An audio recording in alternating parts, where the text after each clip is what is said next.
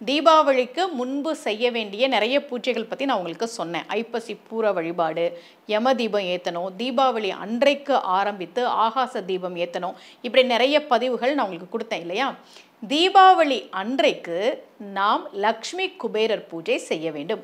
போன வருஷம் ரகசிய உண்மைகள் சேனலில் என்னோட வீடியோ பார்த்துட்டு நாங்கள் லக்ஷ்மி குபேரர் பூஜை பண்ணணும் எங்களுக்கு ஒரு முன்னேற்றம் தெரியுதுன்னு கமெண்ட் பண்ணியிருந்தாங்க. இந்த வருஷம் நீங்கள் நம்பிக்கையோட லக்ஷ்மி குபேரர் பூஜை பண்ணுங்க. இந்த வருஷம் தீபாவளி அன்றைக்கு செய்யக்கூடிய லக்ஷ்மி குபேரர் பூஜைக்கு என்ன சிறப்புன்னு சொல்கிறேன்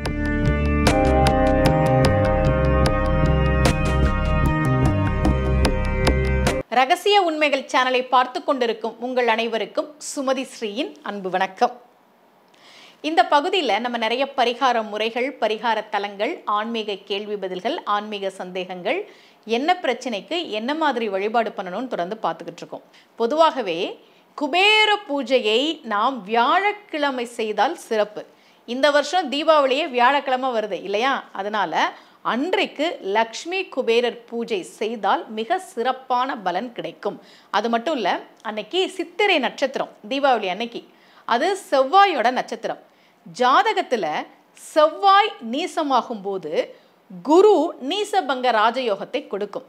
அதே மாதிரி ஜாதகத்தில் குரு நீசமாகிற போது செவ்வாய் நீசபங்க ராஜயோகத்தை கொடுக்கும். இந்த வருஷம் தீபாவளி வியாழக்கிழமை வருது. அதோட செவ்வாயினுடைய நட்சத்திரத்தில் வருது. இந்த நாளில் நாம் லக்ஷ்மி குபேரர் பூஜை செய்தால் மிக சிறப்பான பலன்களை பெறலாம்.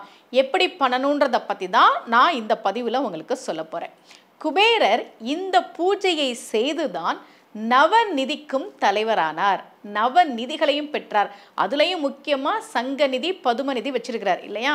திருப்பதி பெருமாளே குபேரனுக்கு வட்டி கட்டுறார் அப்படின்னு நம்ம சொல்கிறோம் அந்த அளவுக்கு செல்வங்களை வைத்திருக்கக்கூடிய குபேரனுக்கு தீபாவளி அன்றைக்கு மாலையில் நாம் லக்ஷ்மி குபேரர் பூஜை பண்ணணும்.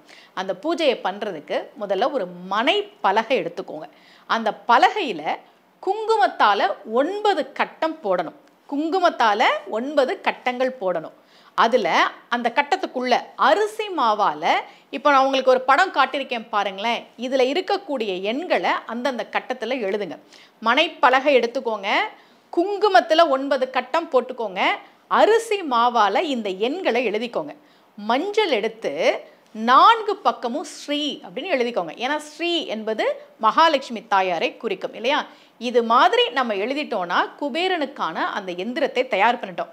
நிறைய எண்கள்லாம் இருக்கே எதுக்கு இந்த எண்கள்? நீங்கள் கூட்டி பாருங்களேன் மேலேருந்து கீழே ஒவ்வொரு வரிசையாக கூட்டினீங்கன்னா ஒன்பதுன்னு வரும்.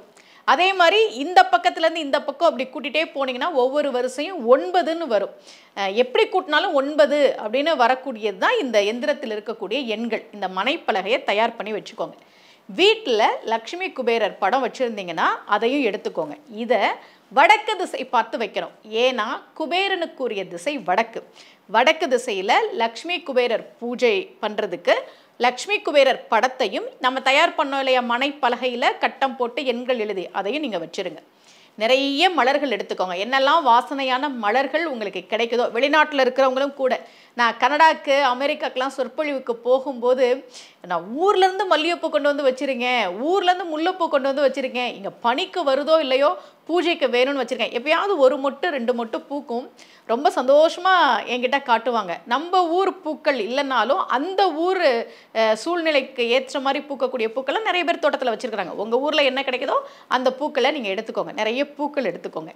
இனிப்பு நிவேதனம் வைக்கணும். இதெல்லாம் தயார் பண்ணிவிட்டு தீபம் ஏற்றி வைத்து தீப தூபம் காட்டி குபேரனுக்குரிய மந்திரங்களை சொல்லி வழிபாடு செய்ய வேண்டும்.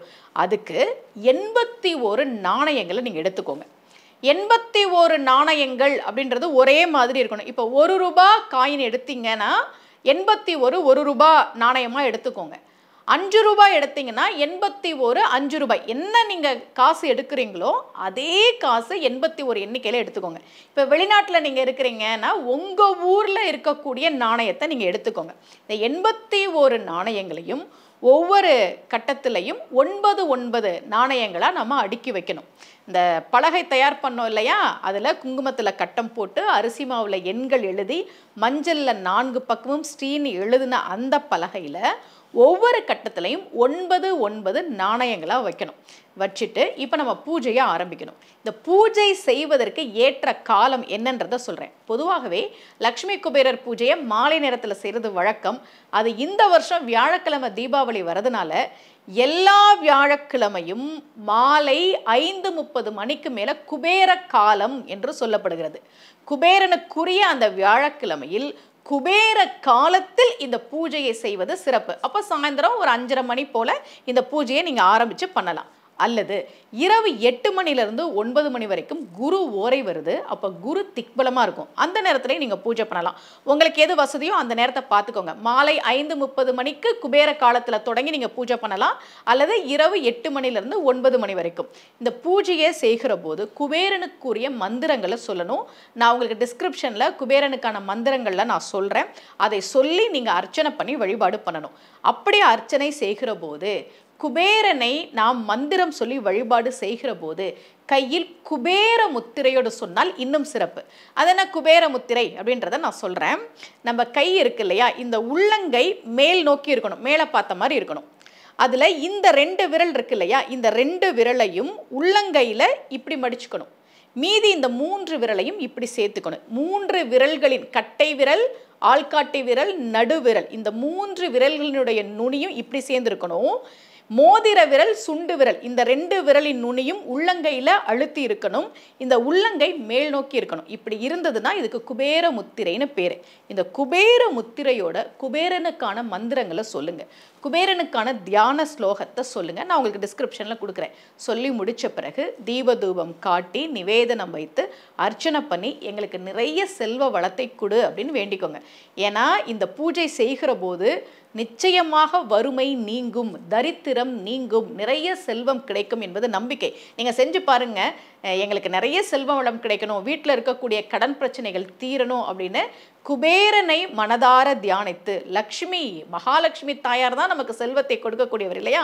மகாலட்சுமி தாயாரை மனதிலே தியானித்து இந்த லக்ஷ்மி குபேரர் பூஜையை நம்பிக்கையோடு செய்யுங்கள்.